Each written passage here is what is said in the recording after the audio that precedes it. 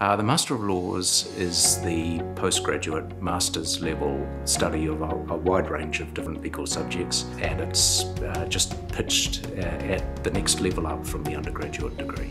This program is for those people that are interested in pursuing and advancing their careers. They are students who want something extra um, in their uh, career, so they're either perhaps looking to retrain and get new and additional skills um, or alternatively they're looking to specialise. Students can specialise in a whole variety of different areas. My own area is international law, but beyond that, there's many areas of private law, domestic law, including such things as family law, criminal law, and dispute resolution. I was drawn to do an LLM because I wanted an intellectual challenge and I wanted to be in a university environment again after 30 years with people who were testing their ideas, challenging each other and learning together.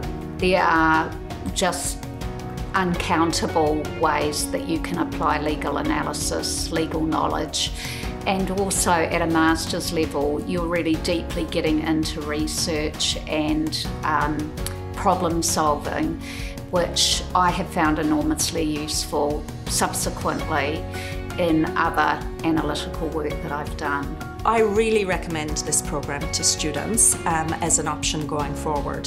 First of all, it allows students to really engage in what they're interested in after an undergraduate law degree where many of the subjects are compulsory.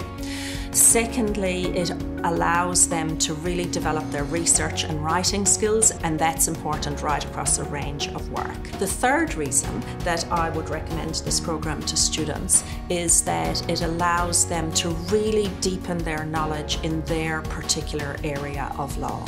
I felt really privileged to be able to undertake the Masters. Um, I very much appreciated the fact that I had um, access to a scholarship uh, which paid my fees because I know that that can be a barrier for some people. I really enjoyed being back in the university environment and I'm very proud of what I was able to achieve. Every individual that applies is different and they may have done well at the beginning of their undergraduate degree or at the end of their undergraduate degree.